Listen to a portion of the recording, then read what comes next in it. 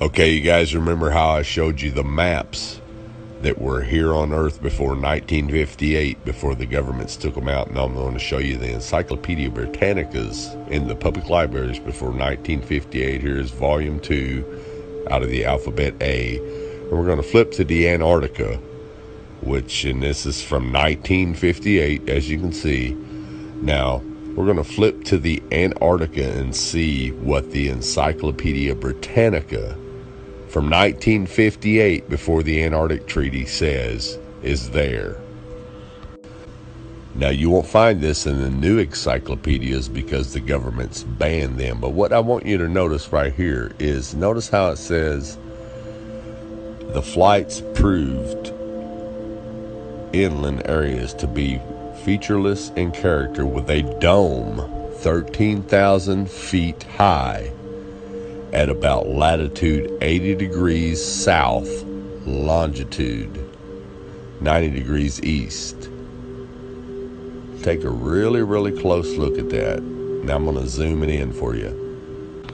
When they returned to New Zealand, these flights proved the inland areas to be featureless in character with a dome 13,000 feet high at about latitude 80 degrees south, longitude 90 degrees east. Now, if this doesn't make sense to you, let me show you with an image of what a flat earth map would look like. Now, this is what latitude 80 degrees south would look like on a flat earth map. As you can see, the dome comes down closer to you over the wall, which will be about 13,000 feet.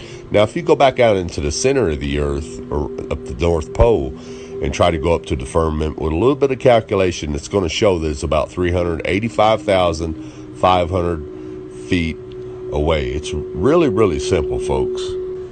Now, if you're not familiar with any of this at all, at all, and you're just now new to the, all this, it, you could say, well, this guy is crazy. He doesn't know what he's talking about. But, but what you got to ask yourself is, why do all the maps before 1958 show a flat Earth with the ice wall around it and a firmament, a dome. And why does the encyclopedia tell you that there's a dome there and it gives you the exact height at a certain latitude and longitude? Well, the reason is is because in 1958, that's when all governments and all nations of the world signed the UN treaty to ban all civilians from going to the Antarctica. And NASA came in and erased everything just like they're erasing everything today. So again, ask yourself, if all this existed before 1958, why doesn't it exist now? How come it all of a sudden was erased and just disappeared out of your history books, out of your encyclopedias, out of your libraries? Wake up, people. Wake up. If you keep looking and keep looking and keep looking at the stars, looking at the sun, looking at the moon like I have and like I do, you really start to come to the conclusion that everything that, that's above us isn't what we've been told whatsoever at all. For instance, why is it that when you're standing in front of the ocean, the ocean looks greenish, but when you look at it from an airplane or from a drone or a balloon, the ocean is blue? And then conversely, when you're standing on the earth and looking up, the sky also looks blue. Well, maybe I found the reason and I'm pretty sure I did. And this literally, no pun intended, just fell out of the clear blue sky into my lap today.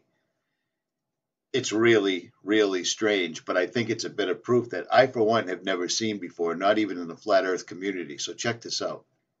It turns out in 1990, an Italian geologist, see, always good guys are Italian like myself, named Angelo Pitonio was visiting Sierra Leone in the vicinity of the border of Guinea Conakry to verify if a certain region of the country known as Kono was indeed rich deposit of diamonds. So you see, blah, blah, blah, on and on they go. And then they go on to the story where they found this. And this is called the Sky Stone. Now, this is insane. I am almost positive, and I think they are too, they just don't want to say it, that this thing is a literal piece of the firmament. This rock is made up of 77.17%. Notice the three sevens. 77.17% oxygen. And when they crushed this up to put it underneath the microscope, they could no longer see it. It lost its color. This is a real thing. This is an absolutely real thing. After returning to, to Europe, Pitoni took the blue stone to the Institute of Natural blah blah blah. To his surprise, tests showed that stone was not turquoise. It wasn't even officially cataloged. The blue stone he had discovered not only does not correspond to any known mi- mineral, but the same material was also also recently located in Morocco. Do you see what's going on? The sky is falling. How's that? And they literally have imagery of it all over the place. This is the stone itself right here. And it's pretty amazing. It was found with all sorts of artifacts. And again, they tested this thing to 3,000 degrees Celsius, yet its composition wouldn't alter. It was made out of 77.1% pure oxygen, and the remaining was carbon, calcium, and another unknown element. They were eventually able to locate an organic compound that is currently unknown to science, dated at 55,000 years old. That doesn't really do very much for me. Amazingly, it seems that the sky stone is not unique. There has been, in fact, similar finds in other places on the earth, most notably Brazil. The other sample of sky stone was submitted to GRS Swiss Labs for testing and the analysis by an anonymous dealer. Intrigued artist, artist, American artist and designer Jared Collins tried to buy the small cutaway, but the dealer refused to sell it. He wouldn't even name a price for a larger full stone. So these guys have literally found these stones all over the world. And look at it. It's exactly exactly the same color as the sky. It's made out of the same color. Uh, it's made out of the same elements that we literally breathe. This is, in my opinion, the firmament.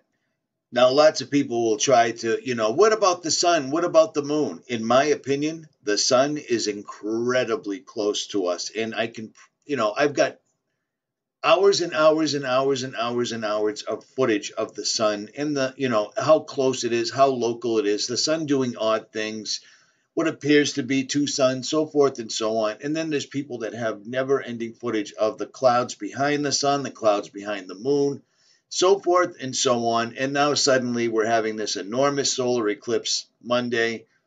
And the shadow is going to pass from west to east, which, if you had an object passing in front of another object, I guess you could cast a shadow from west to east. But the problem with that entire thing is it would mean the moon is orbiting twice a day around the earth. And that's not what's going on because I've got imagery of the, the moon sitting outside my house all day, all day long in the clear blue sky. Clear blue sky. I got a funny feeling that this stuff has been around, that these guys know this. And the one reason, the one true reason that they hide the flat earth, the one true reason that NASA is always doing their going to space puppet shows and, oh, you know, people have the technology to see the moon now, but so we can't go back there. We lost the technology and it's upsetting. Is because they know if they tried to pull another moon landing hoax, we have the ability to see if they actually landed there, and they can't have that. They're hiding God, and that's all there is to it. I don't know what else to tell you. Every other civilization knew it, and now they all laugh at anyone that questions this and says, well, this was proven 500 years ago. It was proven 500 years ago. No, it was it was a rumor that was started by wealthy, rich, elite people 500 years ago that didn't even have the ability to fly up and test their theory. And yet today the theory still stands, much like the theory of gravity, much like the the theory and the testing that's been done on the earth showing that it's not even moving. Do you really believe that we're flying through outer space at a thousand miles an hour, rocketing around the sun at 66? You know what I mean? It's all absolutely ludicrous and ridiculous, but I digress. This is what's all around us. That is a small piece of the firmament. I can't stress it anymore. This is a real thing. This really did happen, and I've never heard of it in my entire life. 77.17% oxygen and then one unknown element. They can't break it, they can't burn it, they can't bend it, and they can't explain it, and they're not selling it. This guest for this evening is Admiral Richard E. Byrd. The North Pole used to be a no man's land, but uh, these are the days when, by buying a ticket on a commercial airliner, you can fly across the North Pole and drink a cocktail at the same time. Yet only three score or more years ago, about 35 years ago, our guest tonight found out whether there was any land north of the North American continent. He made that first discovery flight, and I must say that Admiral Byrd, our guest tonight, is not only our greatest living explorer, but he's been an inspiration to countless Americans. Admiral Byrd, you've been to both the North Pole and the South Pole. Is there any unexplored land left on this earth that might appeal to adventurous young Americans? Uh, yes, there is. And not up around the North Pole because it's getting crowded up there now because they find out it's really usable, not only to live in, but militarily. But strangely enough, there's left in the world today an area as big as the United States that's never been seen by a human being. And that's beyond the pole on the other side of the South Pole from Middle America. And it's, uh, I think it's quite astonishing that there should be an area as big as that unexplored. That's a tremendous So challenge. there's a lot of adventure left down at the bottom of the world. Admiral, Admiral, a, an expedition to which I believe you're the advisor is now en route. Uh, what is that expedition doing? Well, that's the icebreaker Atka, and it's a reconnaissance expedition. It's going down to the South Pole area to make certain observations and to, to look for some bases. They will be back in April, and they will report back, and upon the information we get from that undertaking, uh, we will base the bigger expedition that's to follow. Uh, Is that very definitely planned, or uh, is that... uh, that is being planned right now. So I'm willing to say to you that uh, there will be a number of expeditions that will follow, I think, uh, year after year, at the bottom of the world, because the government has really become interested. Well, Admiral Byrd, I can understand. I think everybody can the interest in the North Pole because it's so near our greatest challenger, Soviet Russia. But why this interest in the uh, bottom of the world? Nobody living down there, is there? No, it's um, it's pretty cold. There's only one permanent resident. That's the emperor penguin. The little ones live further north. I tell you one reason they're interested. It's by far the most uh, valuable, important place left in the world for science. That's why the scientific groups all over the nation are really interested. But more important than that, it's, uh, it has to do with the future uh, of the nation, those to come after us, or even uh, during your lifetime. Because it happens to be an untouched reservoir of natural resources. And, uh, you know, as the world shrinks with an ever increasing acceleration, far flung places, once useless, like we thought the North Pole was, and no man's land, become very useful. Uh, the bottom of the world will be important, not only to us, but to our allies. Uh, does it, I was going to ask you, does it have military importance? Uh, it has some, and uh, as the world shrinks, it will continue to shrink with an ever increasing acceleration, thus bringing these places closer. And in the future, I can see a time when it will be very, very important strategically. Well, has the And- development of air power increased there the strategic importance of places like the uh, oh, very much so. Peninsula, was it? Uh, very much so. Even now, if uh, anything happened and we uh, lost the Panama Canal, we would have to control the islands just north of Antarctica, which are part of Antarctica. Then between there and Cape Admiral, you speak of the resources of Antarctica. What are they? What, uh, what are the natural resources there? Well, uh, we've found enough of coal within 180 miles of the South Pole in a great uh, ridge of mountains. It's not covered with snow, enough to supply the whole world for quite a while. Well, Uh, that's that's the coal. Now there's evidence of uh, other many other minerals. Uh, we are pretty sure there's oil. Now that coal shows the bottom of the world.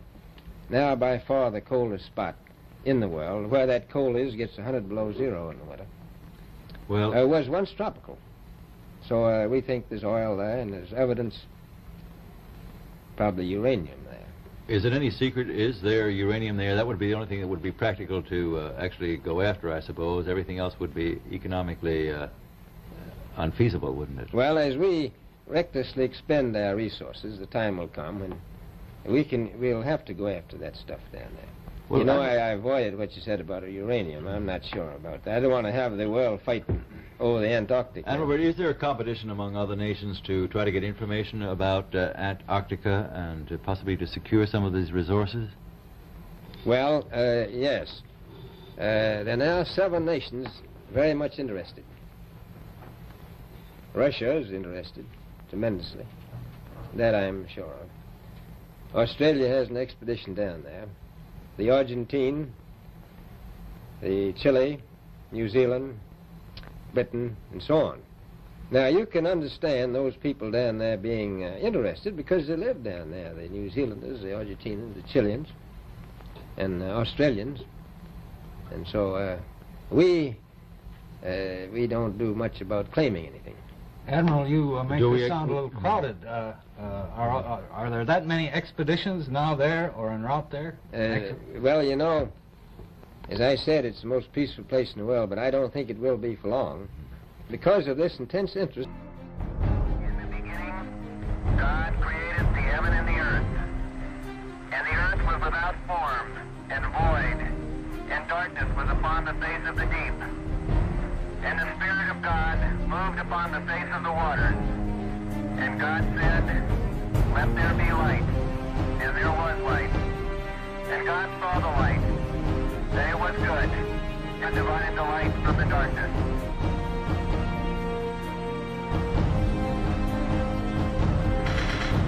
And God called the light day, and the darkness he called night, and the evening and the morning were the first day. And God said, Let there be a firmament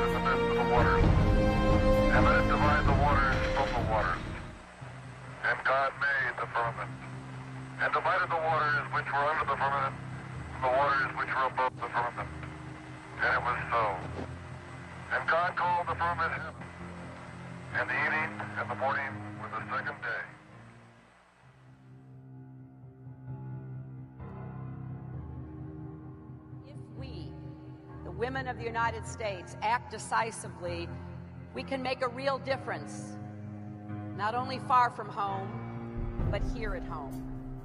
That's why we are launching No Ceilings. We want to know what we've achieved and what we have to do. I'm absolutely confident that we can send a clear, unmistakable message. Ceilings in America are unacceptable. Ceilings around the world that prevent education, health care, and jobs and opportunity are equally unacceptable. And we're going to be about the business of making sure that those ceilings crack. I was uh, very honored that uh, NASA chose me to be the first woman. This is a momentous day in my life. There are no doors we cannot unlock.